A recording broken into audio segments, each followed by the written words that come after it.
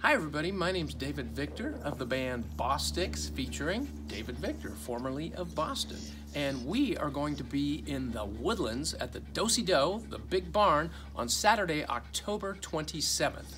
Now, uh, one of the special features of that night is we're going to do an autographed guitar auction and 100% of the proceeds are going to benefit Operation Pets Alive, which rescues animals all over the Houston and Woodlands area. So uh, join us and our little rescued pets here at the Big Barn Dosey Doe on Saturday, October 27th to hear all the hits of Boston and Styx in one amazing night. We'll see you there.